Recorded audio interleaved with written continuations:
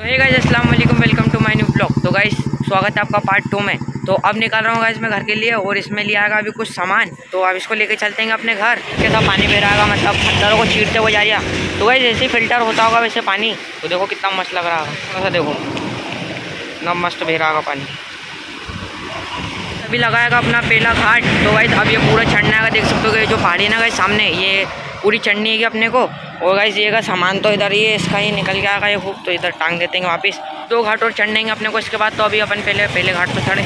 तो मैंने घाट पैदल पैदल चढ़ाया था गाइस क्योंकि इसमें हवा ही नहीं थी तो इसलिए चढ़ ही नहीं पा रही थी सही से। तो गाइस अब हवा डलवा लिएगी एकदम फुल तो गाइस इंदौर उनचालीस किलोमीटर, और देख सकते हो इधर का कुछ सीन कितना?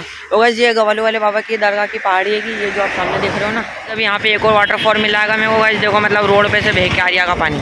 वो देख सकते हो गाइस रोड पे से बह रहा और वहाँ से भी पानी गिर रहा है और रोड से बह के इधर आ रहा है। तो रुकाऊँगा मैं छोरल नदी में और गाइस देखो ये कितनी खतरनाक बह रही है मतलब जब से पानी आया ना गाइस सुबह आया था ना जब इतनी नहीं बह रही थी। देख सकते हो कितना डेंजर लग रहा हूँ मैं कितनी पास खड़ा हूँ गाइस देखो। ये मेरा पेरेगा और गाइस ये नदी।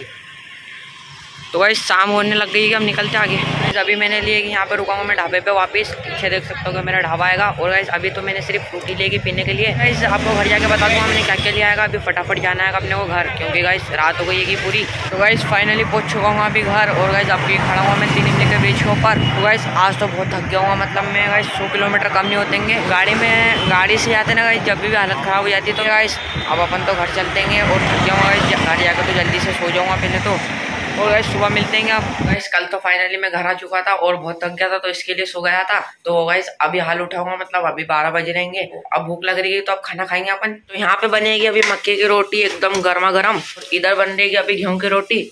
और इधर एक मक्के की रोटी सिखा रही है तो दो ही की मक्के की रोटी है यहाँ पे। बेगन का भरता एकदम गर्मा गर्म। तो अब ये हो जाए गर्म, उसके बाद अपन खाते हैं। गाइस मैं तो गेहूँ की रोटी से खाऊँगा और ये मम्मी के लिए मक्के की रोटी, खाना तो मैंने फाइनली खा लिया है ठीक है गाइस अब मैं ब्लॉग को एंड करता हूँ। अगर आपको वीडियो पसंद नहीं हो तो लाइक करना चैनल पर ना हो तो सब्सक्राइब करना। मिलते हैं जल्दी नेक्स्ट ब्लॉग में, तब तक के लिए बाय